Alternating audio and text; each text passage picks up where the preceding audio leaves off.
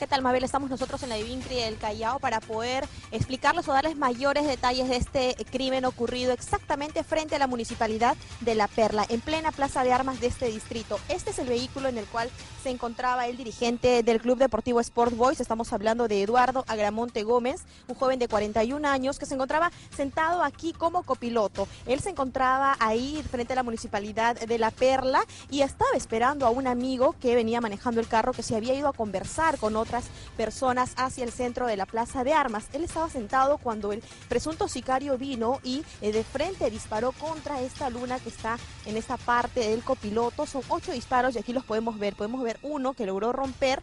Tenemos otro el tercero, el cuarto, el quinto, el sexto y el séptimo y el octavo. Ocho disparos que impactaron directamente hacia el cuerpo de esta persona y todavía con vida en este mismo vehículo fue llevado hacia el hospital Carrión, pero lamentablemente ya el cuerpo de Eduardo no resistió y llegó cadáver. Según información que nos ha podido dar la policía, porque la familia no se ha eh, querido pronunciar ante la prensa, esta persona había llegado precisamente hacia la Plaza de Armas de la Perla porque tenían o habían organizado una reunión los eh, miembros del Club Sport Boys precisamente para poder reelegir o coordinar la reelección del dirigente, el nuevo dirigente que estaría a cargo de la Barra Popular Juventud Rosada. Esta persona, Eduardo Agramonte Gómez, de 41 años, sería uno de los candidatos que pues iba a postular en estas elecciones. Lamentablemente lo que cree la policía es que esta persona no querían, o personas, miembros del mismo club, que no querían que esta persona salga elegido dirigente y terminaron acabando con su vida.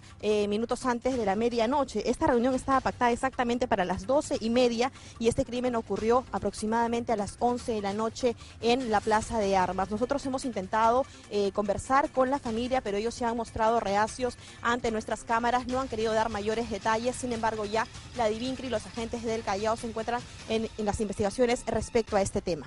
Talía, esta ha sido una madrugada sangrienta y tú también nos has reportado de una balacera en una canchita de fútbol que también cobró la vida de una persona.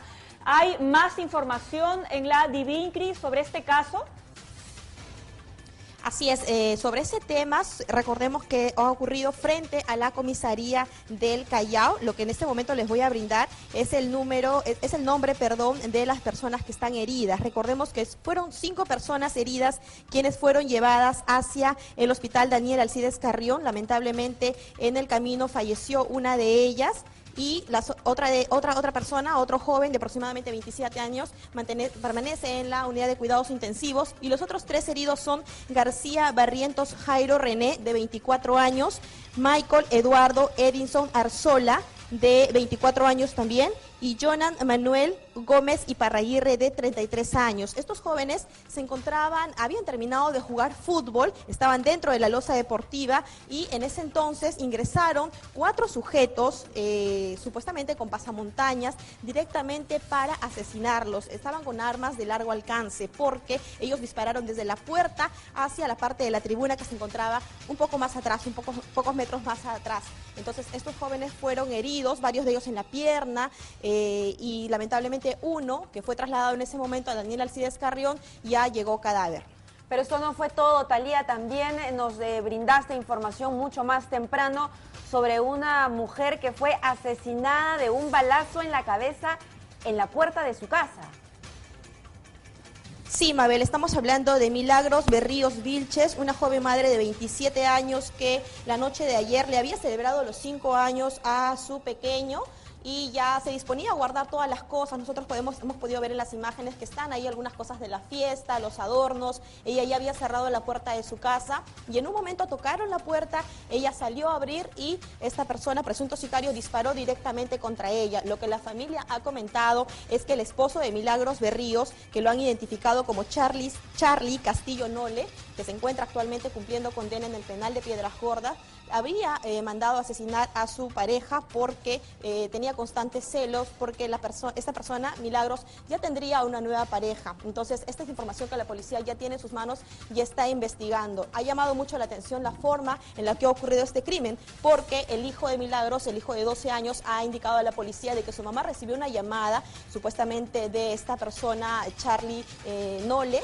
diciéndole de que el regalo de su hijo de 5 años por su cumpleaños ya se encontraba en la puerta, que vaya ella a abrir la puerta. Y esto es precisamente lo que hizo Milagros. Fue hacia la puerta, abrió y lamentablemente lo que recibió es un disparo directamente en la cabeza. Ella estaba con el niño en brazos, intentó correr para refugiarse en su dormitorio, pero lamentablemente se desplomó en la mitad de la sala.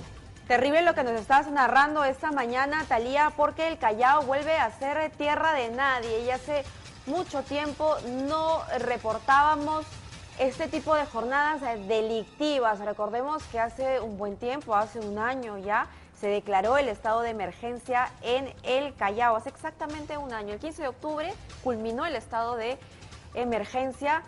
Las cosas probablemente habrían mejorado para la policía, pero vemos que no se debe descuidar y lo que aquí sí es preocupante es que estos, por lo menos, estos tres crímenes que nos estás narrando nuevamente el protagonismo de los sicarios, ¿no? Con qué facilidad pueden contratar a personas para asesinar. Claro, porque no estamos hablando de delincuentes que han intentado hacer robos o asaltos, estamos hablando justamente de personas que han sido enviadas especialmente con el encargo de matar. Así que duro trabajo es el que le espera a la policía solo con estos tres casos y esperemos pues que esto no signifique el inicio de una nueva ola criminal en el primer puerto. Gracias, Salía, nuevamente.